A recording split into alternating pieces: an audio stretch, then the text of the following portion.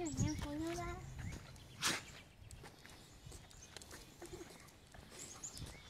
know never, you never let her lose honey.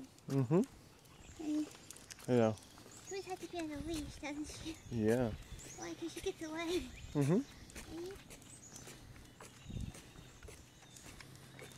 I was talking to somebody today, that lady. Right? She said the coon guards attempt to do that. They run. They run her.